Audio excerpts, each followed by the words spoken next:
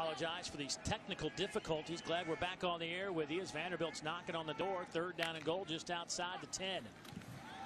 Shurmur, lot of time going to the wide side. Touchdown, Vanderbilt.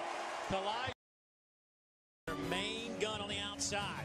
The junior out of New Orleans with a couple of TD receptions. This one in the back. The complete quarter.